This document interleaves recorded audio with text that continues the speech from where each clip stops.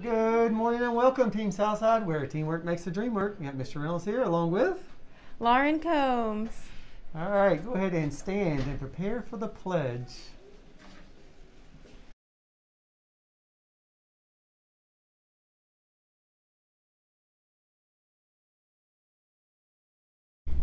I pledge allegiance to the flag of the United States of America and to the republic for which it stands, one nation, under God, indivisible, with liberty and justice for all.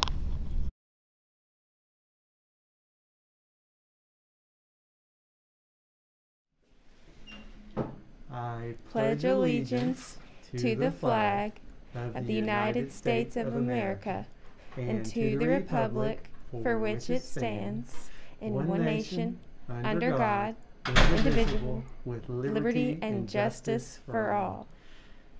All right, thanks so much, guys. And you probably don't recognize our guest on the announcements today. So, this is Miss Combs, and I'm gonna let her tell you a little bit about what she does and uh, about herself.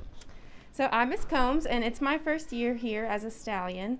Um, I am the bookkeeper. So what that means is I take all the money. Anytime you pay for your Chromebook or want to go on a field trip or anything like that, I get to take all the money and put it in the bank so that we can spend it on you as a student. Um, and I also, whenever teaching teachers are absent, I help them out, just like Miss Shelby helps you when you're absent. So, yeah.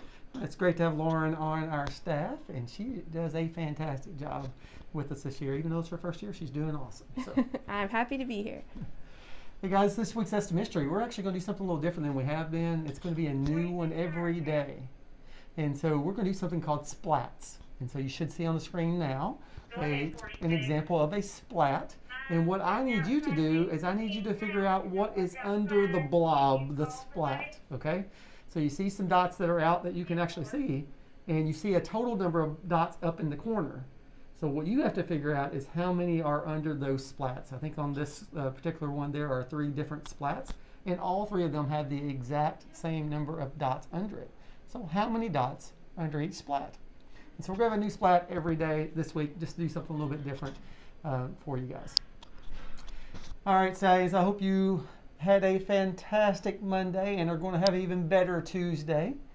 And we want to catch you being safe, respectful, and responsible each and every day in every way. So uh, keep up the good work that you're doing in the cafeteria. And don't forget that we're trying to be careful about our masks and keep them up like they're supposed to be, our hands clean, good social distance.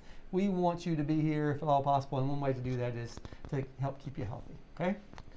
And it is always a great day to be a Southside Stallion. Thanks, guys.